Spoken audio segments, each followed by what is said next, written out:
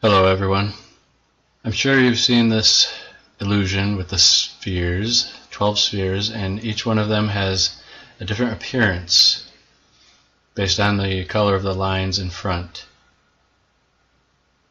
So we will show you a quick uh, demonstration of how this works and why your eyes are perceiving these spheres as different colors even though all of the spheres are exactly the same color.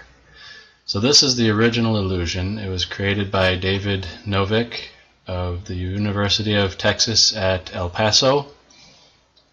Uh, it's based on the optical phenomenon known as the Munker-White illusion. So to start off, I have 12 same colored spheres.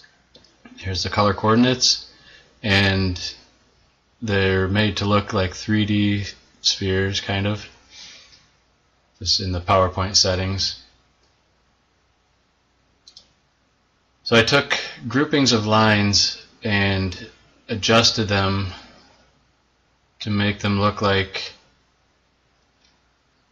the same as the original illusion. But what I'm going to do is slide these groups of lines away so you can see without changing the color of the sphere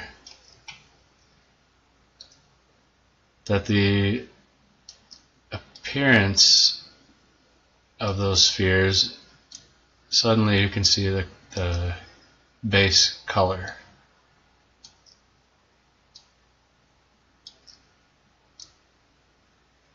So there's no other change, just sliding these lines away from the spheres. And I have all these different groupings because of the way they're overlapped on top of the each of the spheres.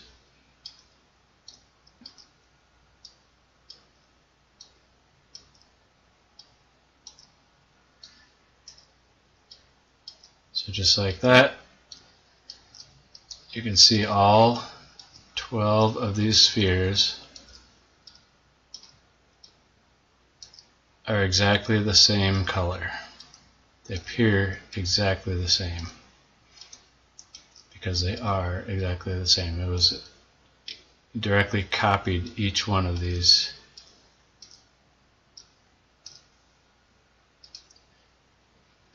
so I will basically undo that and paste everything back in place. And you can see how those sets of lines ended up in this final image. So I hope that it helps to explain the, how this illusion works. And if you have any comments or questions put them in the comment bars below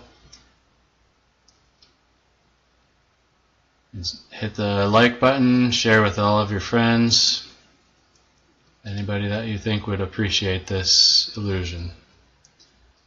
Thank you.